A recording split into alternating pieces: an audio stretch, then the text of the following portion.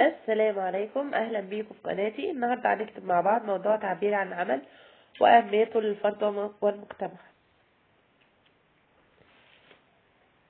الإنسان في حياته اليومية يعيش وسط مجموعة كبيرة من البشر وتلك المجموعة التي تعيش معه في المجتمع هي الأشخاص الذين يقومون بالمشاركة المهمة معه في كافة الأشياء التي يمكن له أن يقوم بها في حياته.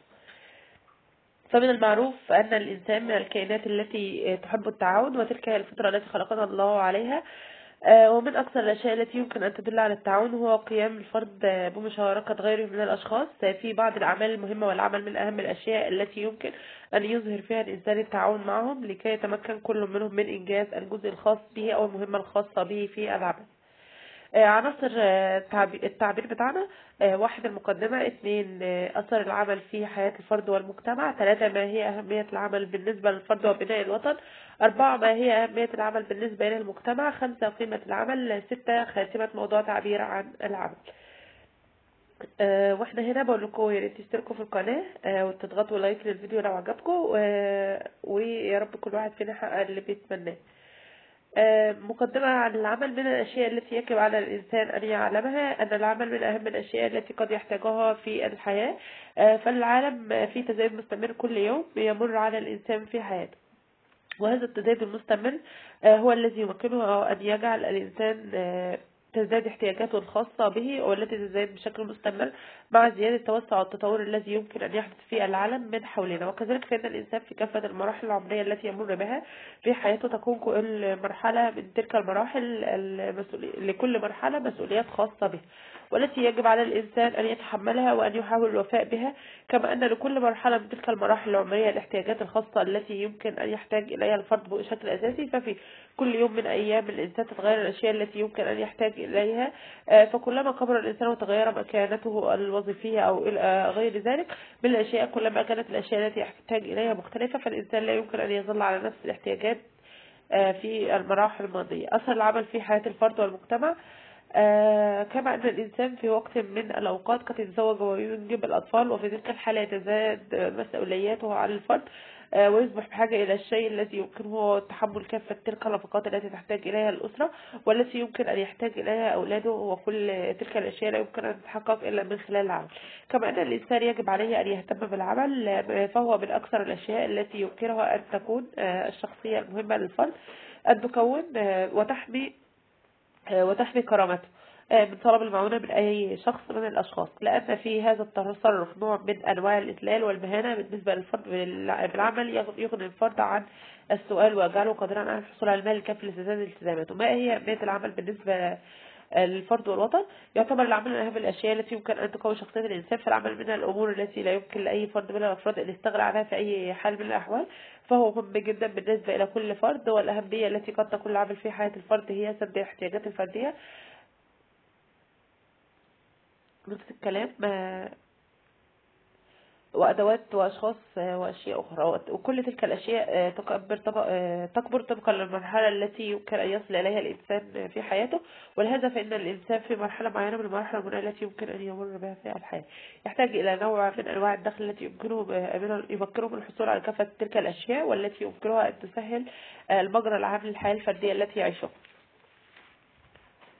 سداد احتياجات الأسرة من أهم الأشياء التي يجب على الإنسان أن يفهمها هو أن هناك مرحلة من مراحل العمر بالنسبة للفرد والتي يمكن أن يتزوج فيها. آه، وفي تلك المرحلة يمكن أن يكون له منزل وأسرة مستقرة.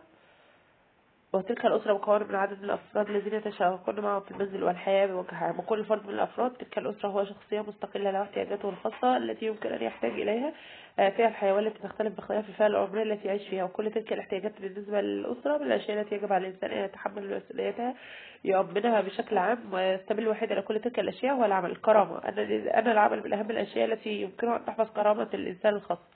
فهو لديك الكثير من الأشخاص الذين يبحثون عن العمل بالأعمال التي يمكنهم القيام بها حتى وإن كان المقابل المادي لها غير كافي ولكن على الأقل فإن ما يمكنه الحصول عليه في مقابل القيام بأحد الأعمال يمكن أن يحافظ على كرامته الخاصة بين الناس وهذا عن طريق قيام الإنسان لسد احتياجاته من الأشياء التي يجب عليه الحصول عليها في الحياة بنفسه وعدم تعريضه إلى طلب المعونة أو الصدقة من أحد الأشخاص. فهذا التصرف من أكثر الأشياء التي يمكنها أن تقتل الكرامة آه، الخاصة بالإنسان. قيمة العمل من أهم الأشياء التي يمكن أن تعود على الإنسان من العمل هو أن الإنسان في حالة قيامه بنوع معين من الأعمال فهو بذلك يقوم ببناء شخصيته المستقلة فإن العمل من الأشياء التي يمكنها أن تساعد على تكوين الماهية العامة للإنسان وهو الشيء الوحيد الذي يمكنه أن يجعل للإنسان قيمة في الحياة قيم الإنسان بنوع من الأعمال التي يمكن له أن يقوم بها من أهم الأشياء التي يمكنها أن تشعر الإنسان بأن له وجود في الحياة.